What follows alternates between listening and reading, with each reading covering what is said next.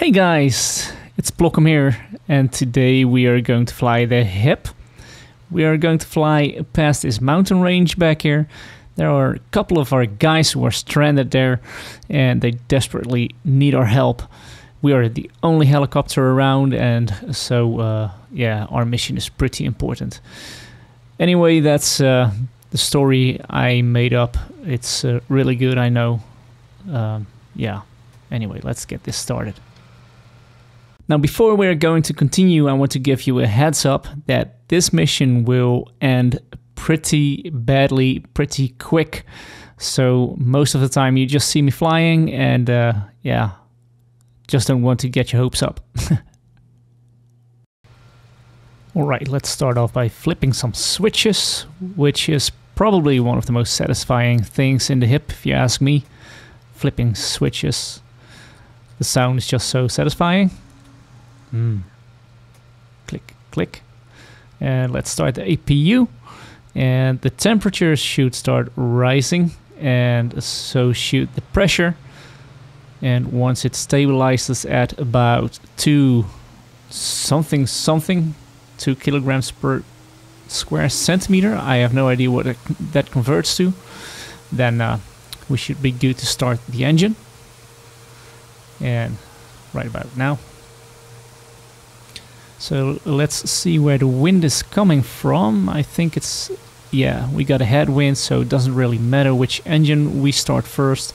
And it isn't even modeled in DCS anyway, so let's start with the left engine first. Release the brake, the rotor brake, rotor brake, otherwise it won't start. And pull that lever, fuel lever, I think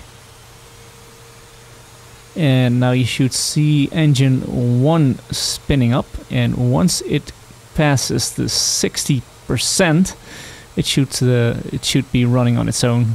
And we can start the second engine. But in the meantime I'm going to steal some power from the APU so that I can set up my countermeasures and my radio while we're at it um, I'm not going to use the radio anyway, but it's kind of standard procedure for me when I'm flying online. So let's turn that on. Countermeasures. Let's dispense four flares each time on both sides.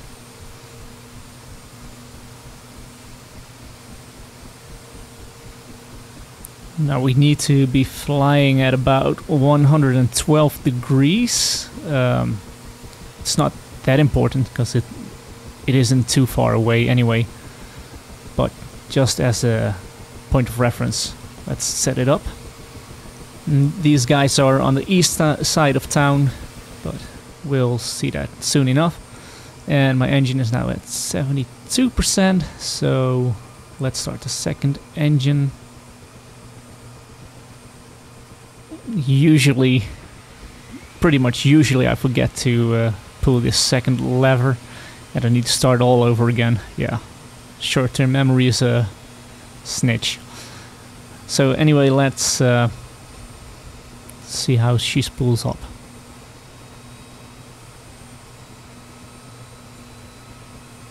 Ooh, slow motion running. I hope they uh, will soon release some new models for these uh, these soldiers. Because if you compare them to the World War II soldiers, uh, those look way better and more high definition. These are, I think, uh, what they they could probably be like uh, 10 years old already. I don't know. Anyway.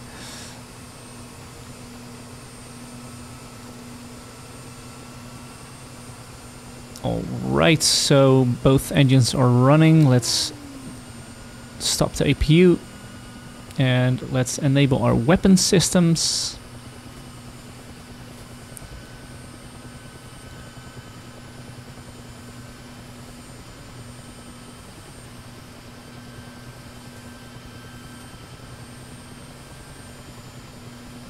Okay, now I want to start running off our own generators. So let's increase the engine power to the engine RPM to 88%. And let's flip some more switches. Generator 1 and 2 and the rectifiers to convert AC to DC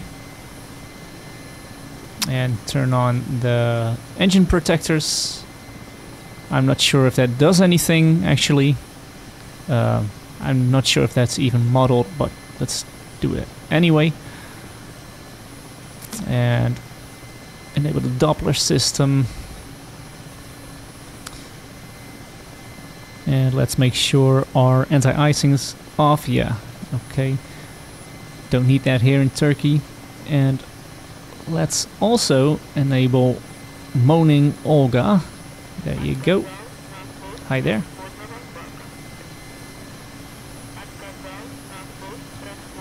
Radar altimeter on. Takes a little while before it comes on actually.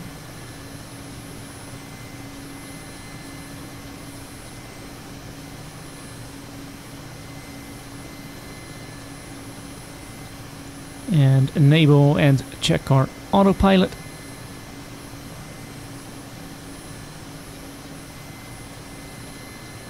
If you're new to the hip and you feel like you're flying really unstable, just make sure that you enable the autopilot, this one here. Otherwise it might feel like you're slinging from tree to tree like a little monkey.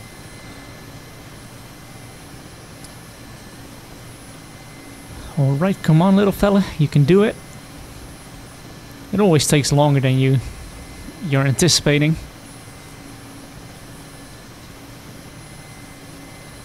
Just want to make sure it works. There you go. And let's do a quick test. Alright. Looking good. I don't know why that always drifts, but and of course uh, once the Doppler or radar altimeter is on, somehow it loses my uh, autopilot. I'm not sure why that is. It's probably the way it's uh, supposed to be, but sometimes I forget and uh, I'm slinging from tree to tree like that monkey. So I think that's it and I think we're ready to head on out. Release the brake and try to stabilize it a bit. Usually it starts rolling here. And once you're up in the air, just don't try to fight it too much. Usually you're just uh, overcorrecting and it will make you really unstable. So just loosen that that hand and uh, let her do her thing.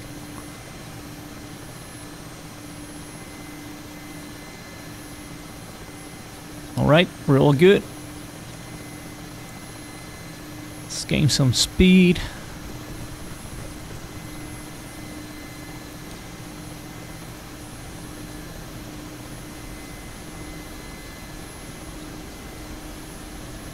I won't be able to make it uh, across these mountains in one go because uh, it's just too high so I'm going to turn around first and gain some altitude also don't want to get caught in these uh, power lines down here. But in the meantime we can enjoy the beautiful view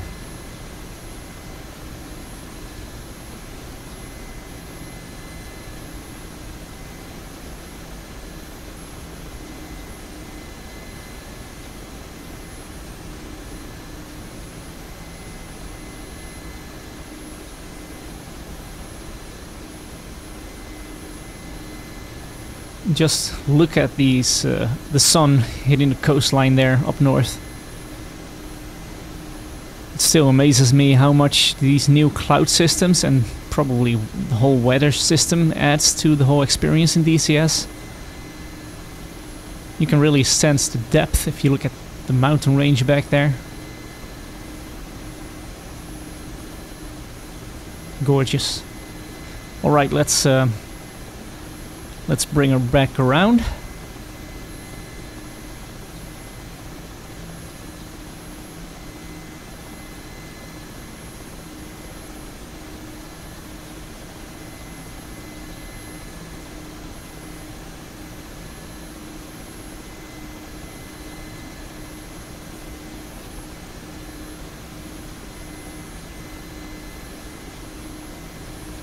Ooh, that seems like a real steep road back there, crossing that mountain. Challenge accepted. Maybe next time.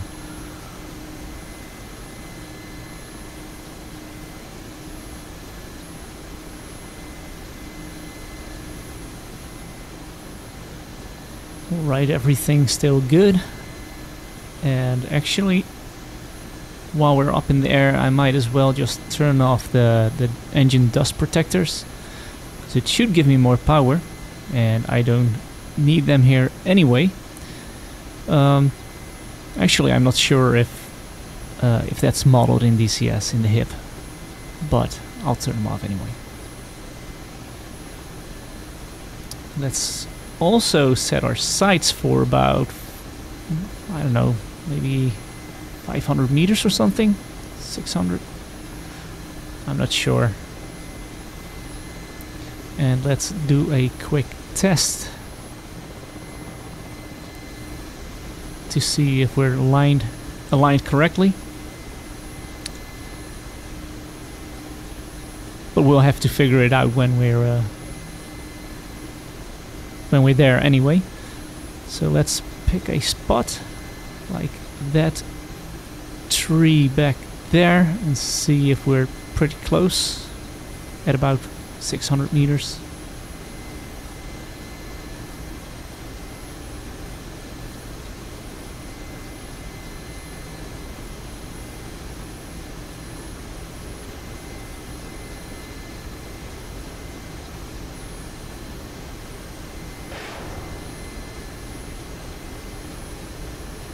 Yeah, close enough. And let's also check our countermeasures. Great, because we're probably gonna need them. I need more power.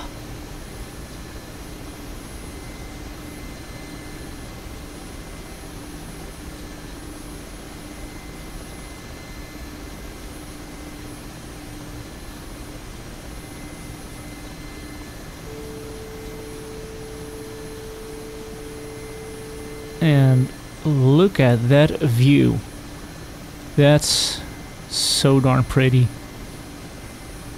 You can feel the space. It's so humongous. Also, thanks to this whole lighting system and the cloud system. I know it's just freaking amazing.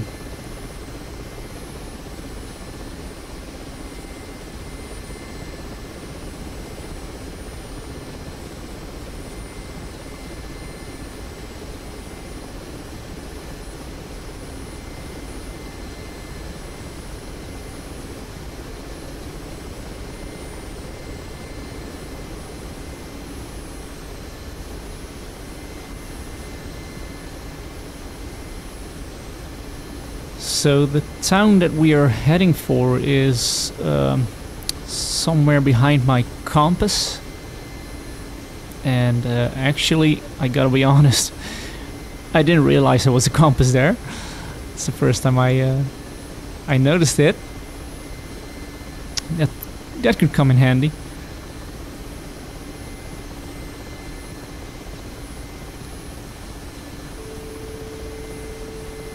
Right there.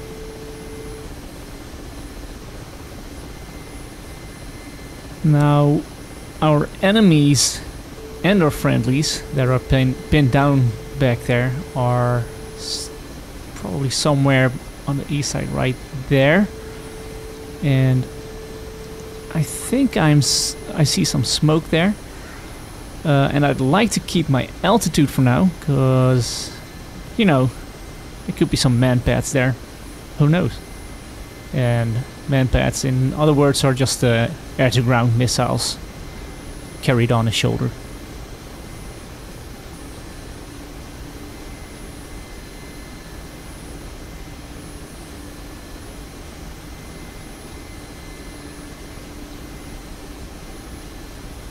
I think I'm seeing some smoke back there. And I'm not sure if that has anything to do with our guys, because there's some more smoke in the region here, but I also see some fire. Could be an indication. who knows? Let's just keep an eye out and uh, you know that's would be great to actually have uh, a multi-crew on the Mi-8 on the hip because right now it's pretty hard to keep an eye out for your environment. And since we don't have a early missile warning system you have to keep looking around all the time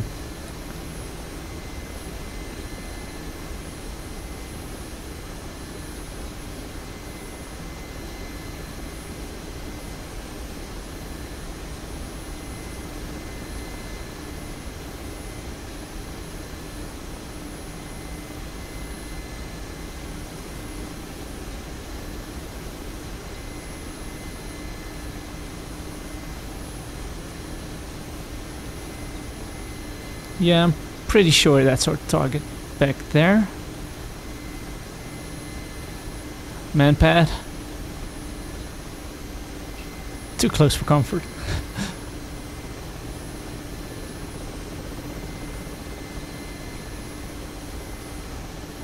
and someone's popping a flare back there. That must be our guys who are pinned down.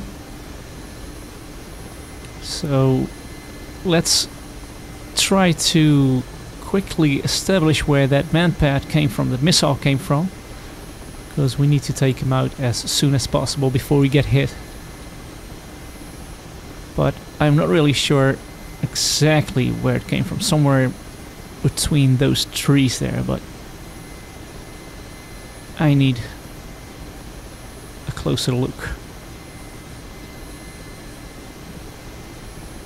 Do I dare to get any closer?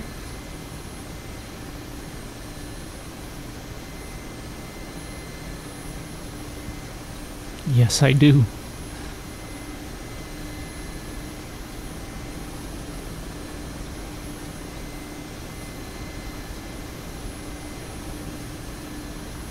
Something else shooting at us at us back there. It's getting really crowded right now.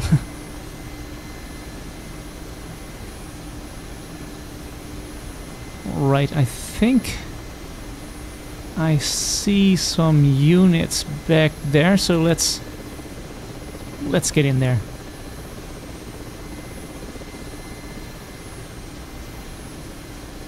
And I think that that right there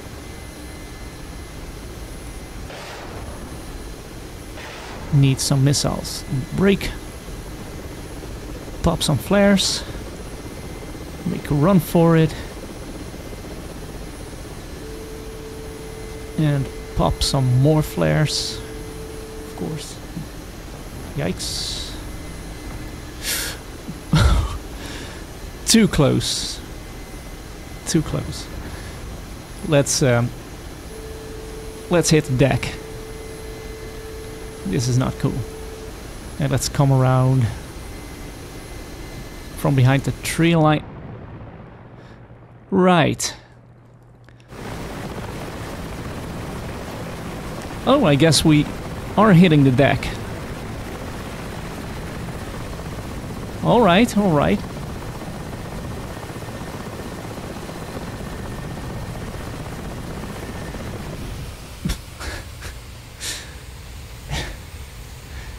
well, I guess it's time to go camping. Got a fire going here.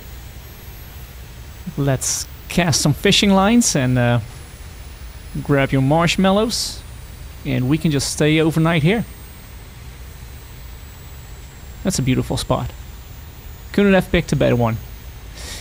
Anyway, guys, um, yeah, that's kind of disappointing. Uh, I really wanted this to work out, but that's how it goes sometimes. And uh, well, you just uh, gotta stay positive and uh, enjoy this nice evening. So, thanks for watching, and uh, I hope to see you next time. Bye bye.